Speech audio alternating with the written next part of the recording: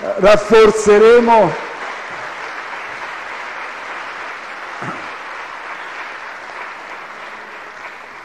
Rafforzeremo l'azione degli agenti sotto copertura in linea con la Convenzione di Merida.